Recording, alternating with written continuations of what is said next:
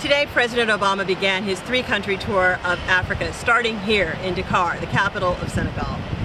The streets were full of energy over the last many days and weeks as the Senegalese prepared for President Obama's visit. He started his visit this morning by meeting with President Macky Sall.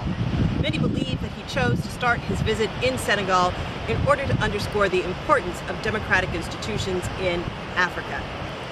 During his remarks, Mr. Obama commended President Sall on his democratic reform.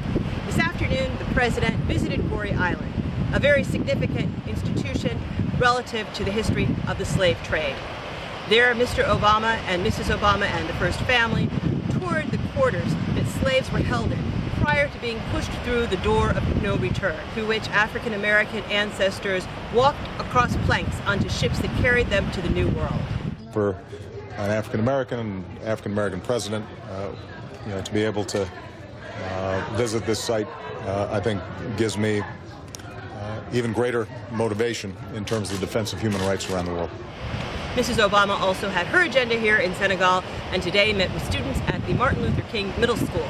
There, she encouraged the students to do well in their studies and commended them for the hard work that they have demonstrated towards improving their lot in life.